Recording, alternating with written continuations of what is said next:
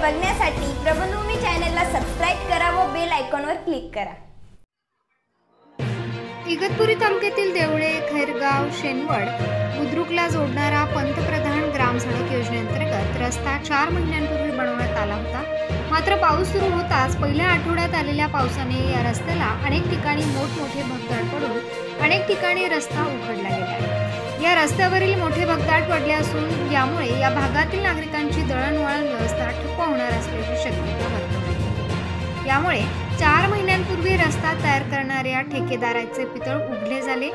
रस्ता तयार होत असताना बांधकाम विभागाने दुर्लक्ष केल्याने परिणामी यावर्षीच्या पहिल्याच पावसाळ्यात रस्त्यावर अनेक ठिकाणी मोठ मोठ्या प्रमाणावर खड्डे पडल्याने या भागातील नागरिकांची दळणवळण व्यवस्था ठप्प होणार असल्याची शक्यता आहे.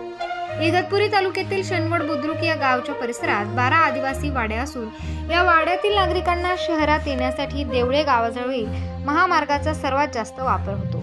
रस्त्याचे काम सुरू असतानाच ते निकृष्ट झाल्याची तक्रार ग्रामस्थांनी प्रशासनाकडे केली होती. मात्र या ठेकेदाराला पाठीशी घातल्याने हे काम घाई करते तुरपण्यात आले. अशी तक्रार शेनवड बुद्रुकचे ग्रामपंचायत सदस्य योगेश गिरंदे यांनी केली.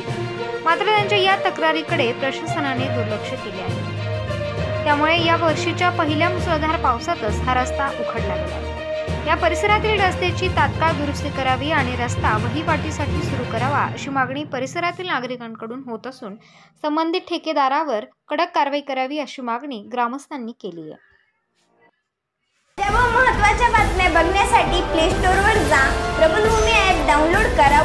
धावपळीच्या जीवनात अपडेट राहा.